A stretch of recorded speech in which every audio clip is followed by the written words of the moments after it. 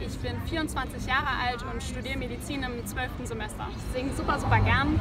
Habe ich von meiner Mom und meiner ganzen Familie so mitbekommen. Habe es mir im Studium die Gitarre dann noch ein bisschen beigebracht, damit man immer was dabei hat auf Reisen. Und hier sind einfach so viele Menschen, die man mit seiner Musik erreichen kann. Und natürlich versuche ich mir auch ein bisschen was dazu zu verdienen, kleinen Groschen, um damit auch vielleicht ökomäßig äh, reisen zu können. Denn Zug ist meistens doch teurer als Flugzeug. Mir ist es wichtig, ähm, eine gute Ökobilanz zu haben, beziehungsweise einen guten ökonomischen Fußabdruck, weil ich möchte, dass auch meine Kinder und Urenkel in einer Welt leben können, in der sie vielleicht Bäume sehen, Gras sehen und äh, nicht mit Mundschutz auf die Straße müssen.